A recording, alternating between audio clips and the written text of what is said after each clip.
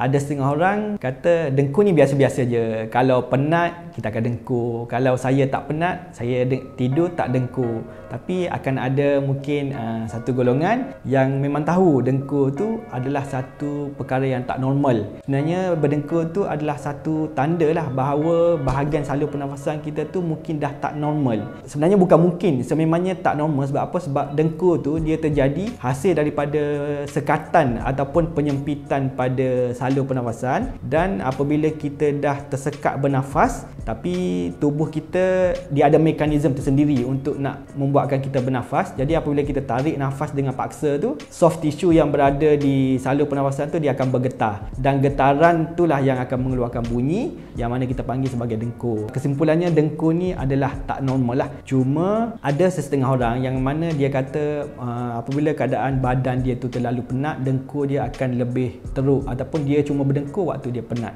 Jadi sebenarnya dengkur ni pun dia very subjektif kepada kita punya aktiviti seharian. Sama juga macam pattern tidur kita. Kalau waktu kita terlalu penat sangat, okey apabila kita tidur malam, jadi mungkin keadaan tu akan menyebabkan dengkur.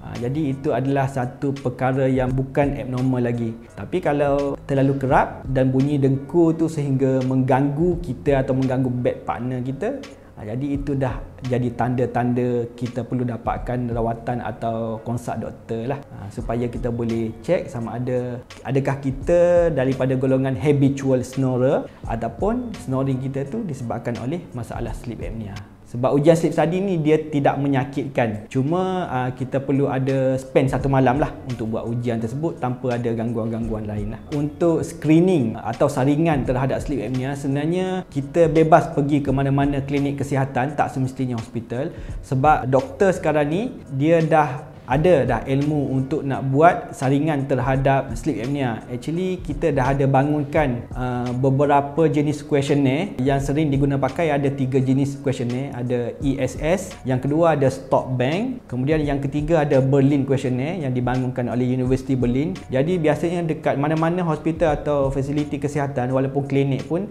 mereka dah uh, familiar dengan jenis-jenis questionnaire ni yang mana boleh diberi kepada pesakit untuk jawab untuk tengok early screening bahawa seseorang ni risiko dia tu dekat dalam kumpulan mana. Kalau skor tu rendah maksudnya dia kuranglah risiko. Kalau skor tu pertengahan ataupun tinggi ah, itu yang doktor akan rujuk kepada hospital terdekat yang ada ujian sleep study ni. Kita boleh pergi mana-mana klinik kesihatan je tak kisah. Sebab screening untuk sleep apnea tu available dekat mana-mana sahaja